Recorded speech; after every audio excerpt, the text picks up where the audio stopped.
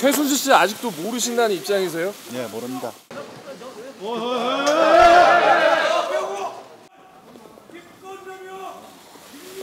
최순실 씨 국정농단 방관했다는 의혹에 대해서 어떻게 생각하십니까?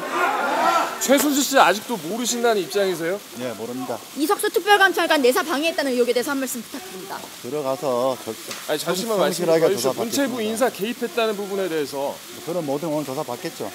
아드님 꽃보직 특혜에 대해서 한 말씀 부탁드립니다. 그동안 충분히 밝혔습니다. 어떻게 밝히셨다는 거죠? 청탁한 적 없습니다. 들어갈게요. 네, 나와요.